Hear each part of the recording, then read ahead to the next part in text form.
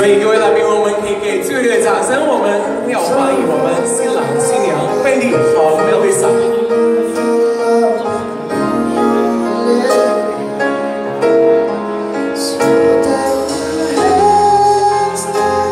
A marriage is a promise that two hearts cleanses. A promise to be tender, to help, to give and take.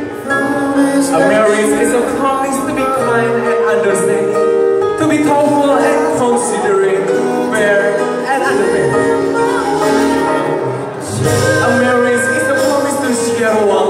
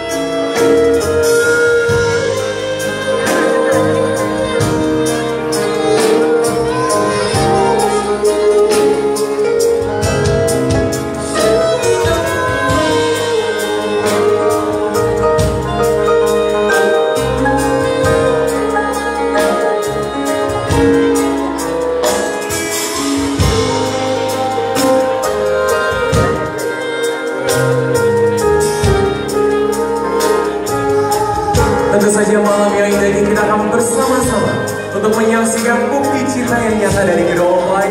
So ladies and